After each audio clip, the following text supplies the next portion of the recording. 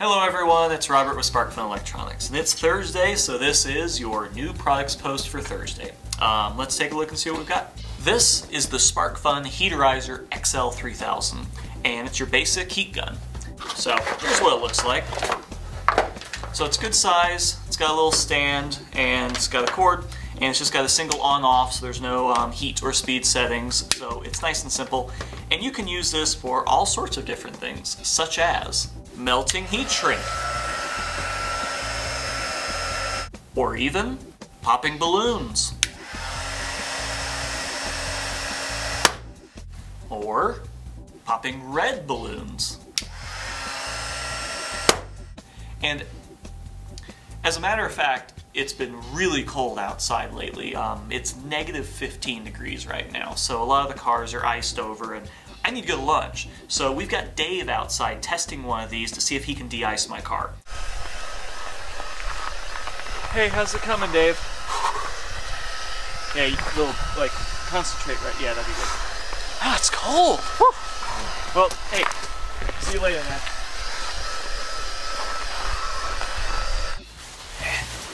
It is nice to be back inside. It is cold out there. So, in addition to popping balloons and all that other stuff, the main use that people are going to have for this is going to be heat shrink. But in addition, you can also use this for minor rework in a pinch.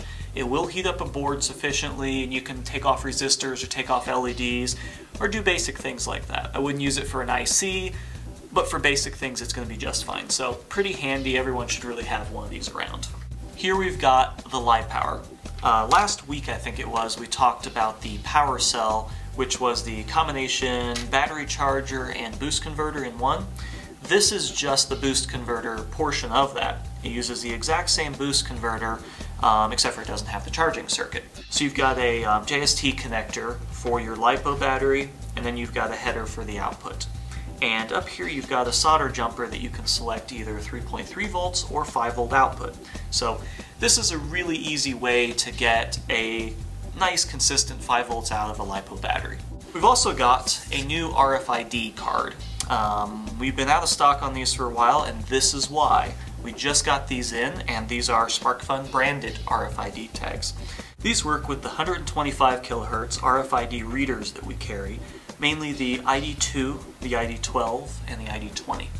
Um, they do not work with the MIFARE stuff, but these are really neat, really handy. They've got a clear side on the back so you can write on them, and they've got a good area right here that you can write on or put stickers on there. So we've got these back in stock, so if you're looking for just a basic um, RFID card, check these out. So here are my top picks for the week. We've got the LiPower, the SparkFun RFID card, and the SparkFun Heaterizer XL3000. They're all pretty cool, except for the heaterizer. It's hot, as you saw. Um, wish Dave luck as he warms up, and we'll see you next week for more new products. Ooh.